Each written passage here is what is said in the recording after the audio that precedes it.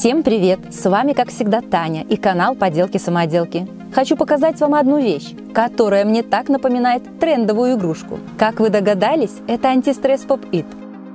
Такой коврик для запекания я купила в магазине. Совершенно случайно. Вот этой фирмы. Он очень приятный на ощупь и с гигантским количеством пупырок. Это удивительно, как он похож на трендовый попыт. Давайте посчитаем, сколько поместилось в нем пупырок. Сверху 26 штук. Сбоку 18. Все это дело умножаем и получаем 468 штук пупырок. Почти 500. Ставь лайк и слушаем, как они щелкают.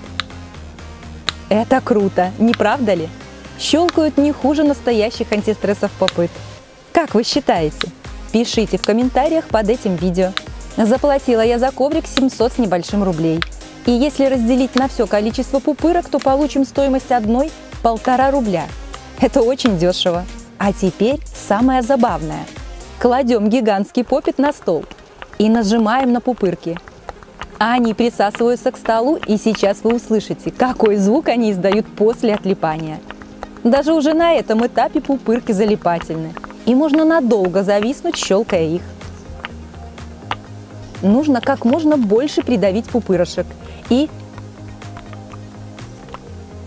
слушайте. Крутецко.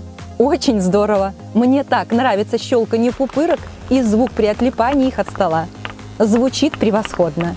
Это точно заслуживает твоего лайка. Еще раз послушаем. Ну просто залипаешь с ними. А как щелкают? Громко, четко и пупырно. Друзья, напишите, что из такого гигантского попита можно сделать. Буду ждать ваших креативных и интересных идей для необычных антистресс попитов. Пупырок здесь очень много, так что и попытов тоже получится много. Резать и творить мы будем вместе.